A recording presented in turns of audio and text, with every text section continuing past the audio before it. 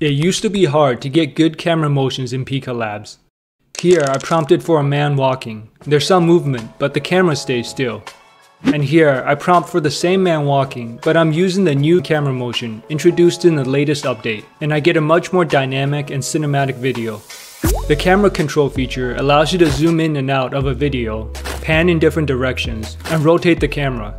It's accessed by typing dash camera, followed by the direction you want to move in.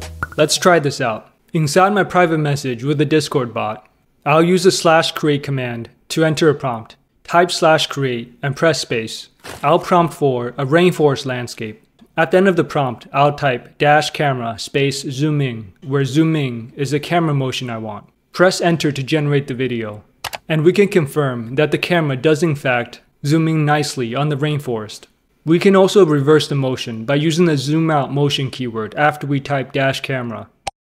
This generates a zooming out motion with the camera moving backwards. There's also a new pan camera motion where you can pan in different directions. Using the same rainforest landscape prompt, I'll ask for the camera to pan to the left this time. Alright, that worked pretty well. Our camera clearly moves to the left. We can also pan up, to the right, or pan down.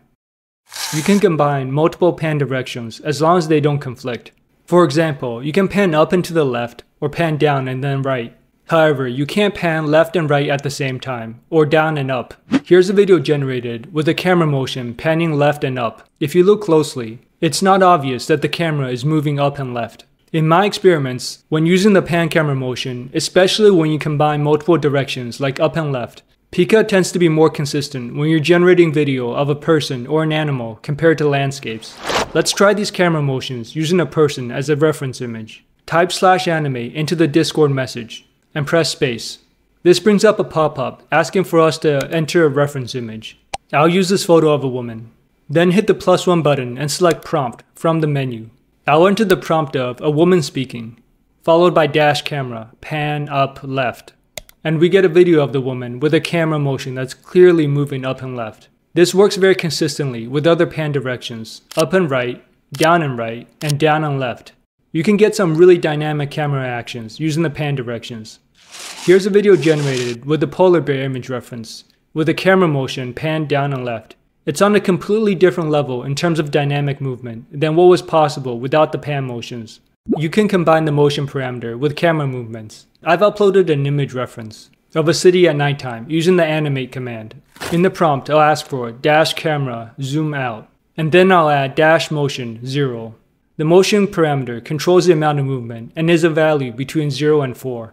This will generate a zoom out video of the city. If I adjust the motion parameter and change it to a larger value of 4, the zoom out motion becomes much more obvious than at 0. This is true for any other video you generate. There's also a new rotate camera motion available. You can rotate clockwise, counterclockwise, and anti-clockwise. Counterclockwise and anti-clockwise mean the same thing, so I'm not sure why they have two separate options, but I'll test them both anyways. Using a reference image of an overhead view of a ballet dance, I'll prompt for different rotation motions. Here's a clockwise motion.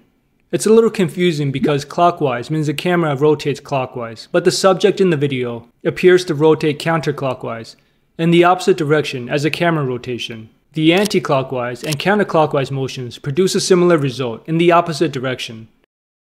The camera rotation doesn't always work depending on your prompt. Here's that video of a city again. I asked for a clockwise rotation, but it appears to just zoom in. Here I asked it to rotate counterclockwise, and I did get a pretty cool warping effect. Note that you can only use one camera motion at a time. You can't combine the different motions of zoom, pan, and rotate together. We finally got a well-needed update to get finer camera control. This was something that was a headache to do in the previous Pika versions. It seems like Pika Labs is getting better day by day, and I'm excited to see what they come up with in the next couple of months. Make sure to subscribe, and I'll keep you updated on the latest news.